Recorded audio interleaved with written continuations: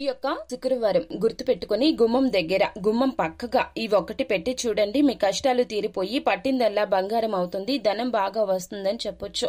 అలాగే కాకుండా ఇది గుమ్మం పక్కన పెట్టుకోవడం ద్వారా మీకు ఉండే ఇబ్బందులు సమస్యలు ఆర్థిక బాధలు అన్ని కూడా తొలగిపోవడానికి అవకాశం ఉంటుంది. పరమ పవిత్రమైన తిది కాబట్టి ఈ రోజున చాలా వరకు కూడాను సమస్యలు అనుభవించేవారు. కష్టాలు తీరిపోవాలి అన్న దరిద్ర బాధలు చక్కగా తీరిపోయి తిరుగులేని యోగాలు ప్రాప్తించాలన్నా చక్కగా ఈ ఉపాయం పాటించి చూడండి. ఇలా పాటించడం ద్వారా మంచి ఫలితాలు రావడమే కాకుండా చక్కగా కలసి వస్తుందని చెప్పుకోవచ్చు.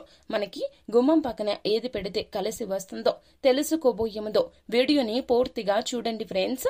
అప్పుడే మేము ఏం చెప్పబోతున్నామో మీకు పూర్తిగా అర్థమవుతుంది. అలాగే కాకుండా గుమ్మం గురించి మనందరికీ తెలిసిందే కదండి. చాలా పరమ పవిత్రమైంది. లక్ష్మీ స్వరూపంగా చెప్తూ ఉంటాము. గుమ్మం అనేది ప్రతి ఒక్కరూ కూడా హిందూ సంప్రదాయం సంప్రదాయాల్లో పూజలు చేస్తూ ఉంటారు ఆరాధిస్తూ ఉంటారు అలాగే కాకుండా గుమ్మానికి మనము అనేక రకాలుగా అలంకరణలు కూడా చేస్తూ ఉంటాము. లక్ష్మీ స్వరూపం కావున శుక్రవారం తిదినాడు గుమ్మం దగ్గర చేసే ఏ పరిహారం అయినా కూడాను చక్కగా సిద్ధించబడుతుందని మనం నమ్ముతూ ఉంటాము. కాబట్టి ఈ యొక్క ఉపాయాన్ని పాటించి చూడండి. ఇది ఏమిటంటే గనక మన ఇంట్లో ఉండే వస్తువులతోనే చక్కగా పాటించేసుకోవచ్చు అనమాట ఈ యొక్క ఉపాయం అనేది ఇలా చేసుకునేటటువంటి పవిత్రమైన ఉపాయము.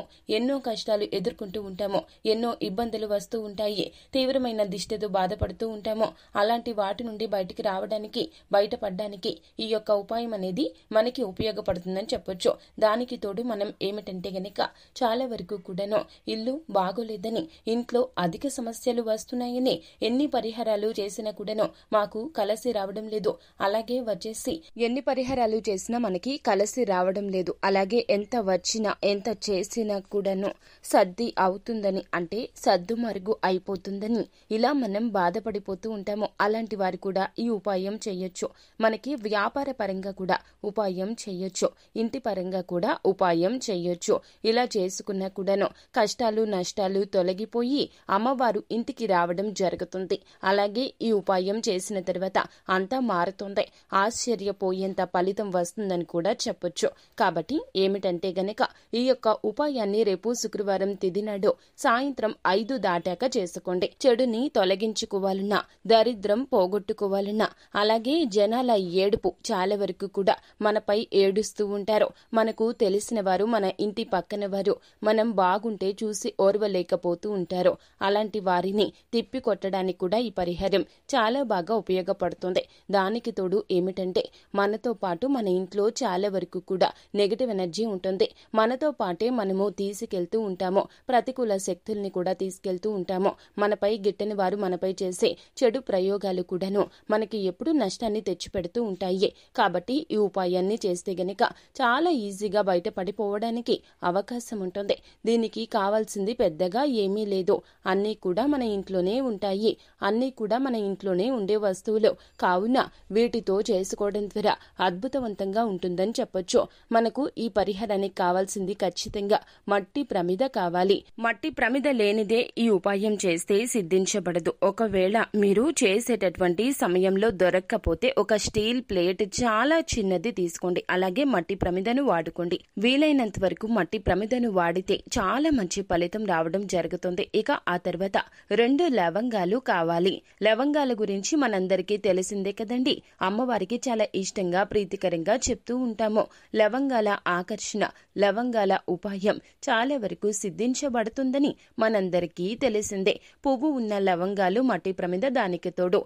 యాలుకలు తీసుకోండి. యాలుకలు కూడాను మన పోపుల పెట్టెలో ఉండే ప్రతి ఒక్క వస్తువు ప్రకృతి ప్రసాదించిన ప్రతి ఒక్కటి కూడాను చాలా అద్భుతంగా ఉపయోగపడుతుంది.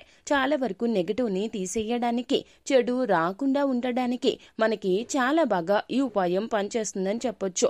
రెండు యాలికలు రెండు లవంగాలు కాస్త బెల్లం తీసుకోవాలి. చిటికెడు చిటికెడు ఏడు సార్లు బెల్లాన్ని తీసుకోవాలి. ఒక మట్టి ప్రమిద.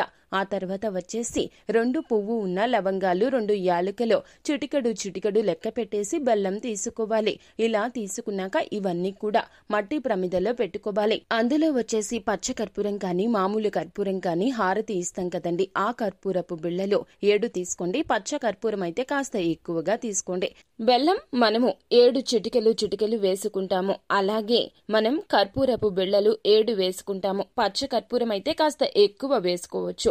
లవంగాలు అన్ని కూడాను చాలా అద్భుత శక్తిగా మారతాయి. దైవం అనుగ్రహం తీసుకుని మనం చేసుకున్న ఉపాయంలా కనబడుతుందని చెప్పొచ్చు. ఎందుకంటే ఇవన్నీ కూడాను ప్రకృతి ప్రసాదించినవే శక్తివంతమైనవే. లక్ష్మీదేవికి ఇష్టంగా చెప్పుకునేవి. కావున వీటిని చక్కగా వేసేసుకుని గుమ్మం దగ్గర ఎడమ వైపున కాని కుడి వైపున కాని ఎక్కడైనా పెట్టుకోవచ్చు. ఈ ప్రదేశం ప్రదేశంలోనే పెట్టుకోవాలి అని ఏమీ లేదు.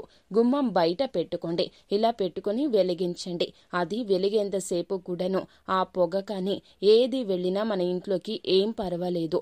చక్కగా ఆ పొగ ఇంట్లో స్ప్రెడ్ అయ్యి చెడు శక్తుల్ని లాగేసుకుంటుంది. అలాగే మనం ఏమిటంటే పొగతో పాటుగా అక్కడ కూర్చొని వెలిగిస్తూ ఉంటాం కదండి. మనలో ఏదైనా చెడు ఉన్నా అది వెళ్ళిపోవడానికి మన ఇంటిని చక్కగా ఉంచుకోవడానికి మన ఇంట్లో ఉండే ప్రతికూల శక్తులు నెగటివ్ ఎనర్జీ కష్టాలు నష్టాలు అంతేకాకుండా అప్పుల బాధలు ధనానికి సంబంధించిన బాధలు ఇబ్బందులు ఇవన్నీ కూడా వాటన్నింటి నుండి చాలా ఈజీగా బయటపడడానికి ఉపాయంగా చెప్పుకోవచ్చు. అద్భుతవంతంగా ఉపయోగపడుతుంది. ఇదే యాజ్ ఇట్ ఈస్గా వ్యాపారం చేస్తాం కదండి. షాపుల దగ్గర కావచ్చు కొట్టుల పరంగా కావచ్చు చేసుకోండి. అక్కడైనా సరే యాజ్ ఇట్ ఈస్గా అలాగే చేసుకోవాలి. ఇలా చేసుకున్న వ్యాపారం బాగుంటుంది. వ్యాపారంలో ఎటువంటి సమస్యలు రావో.